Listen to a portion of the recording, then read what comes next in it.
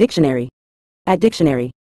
In a general sense, aliado is a Spanish term that translates to ally in English and refers to a person, group, or country that provides support or assistance to another in achieving a common goal or addressing a shared challenge. The term conveys the idea of cooperation and mutual benefit, often in contexts such as political alliances, business partnerships, or social movements. An aliado works collaboratively with others, sharing resources, strategies, or goals to strengthen their position or advance their collective interests.